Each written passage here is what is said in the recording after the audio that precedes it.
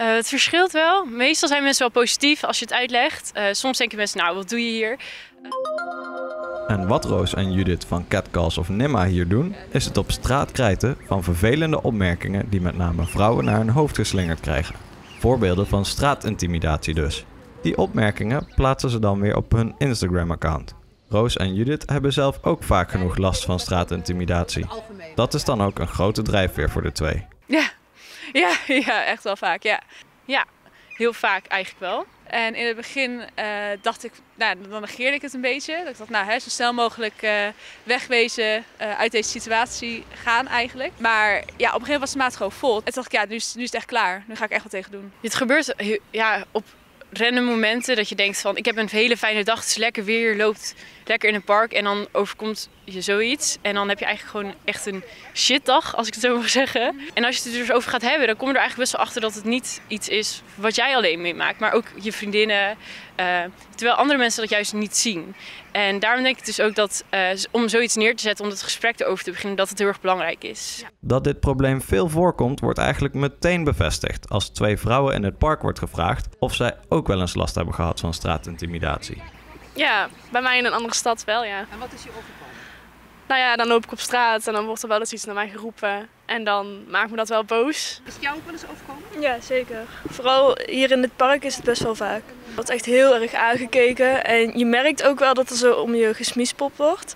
En ja, dat is gewoon echt niet fijn. En je loopt er echt wel met een grote boog omheen. Of je neemt zelfs een andere route. Dat je denkt van, hé, hey, ik hoef hier niet per se langs te lopen. Het catcallen, zoals het naroepen of fluiten van vrouwen wordt genoemd, is niet zomaar een beetje vervelend. Het gaat veel verder dan dat. Het effect wordt vaak onderschat. Dus sommige mensen denken, goh, weet je, het is één opmerking of uh, weet je, het is een compliment of wat dan ook.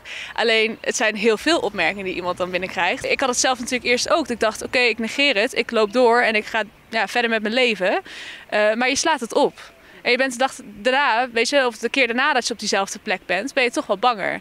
En daar was ik op een gegeven moment klaar mee. Dat ik me ging aanpassen, omdat dus andere mensen dit soort gedrag vertonen. De voorbeelden die worden gekrijt zijn op die plek gebeurd. Het zijn voorbeelden die zijn ingezonden via Instagram of de website van Catcalls of Nimma. Maar niet iedereen begrijpt meteen waarom je zulke teksten op de grond zou schrijven. Uh, het verschilt wel. Meestal zijn mensen wel positief als je het uitlegt. Uh, soms denken mensen, nou, wat doe je hier? En dan leg je uit van, ja, maar dit is iets wat hier echt gezegd is. Uh, dit is hier echt gebeurd. En vaak zijn mensen dan van, oh, wat goed. Ja, dat gebeurt inderdaad heel veel. Of mensen zijn van, ja, ik wist helemaal niet dat dit gebeurde. En oh, goh, nu zet je me wel aan het denken. Het Kronenburger Park is voor Catcalls of Nimma helaas geen onbekend terrein. Er zijn wel echt zeker highlights.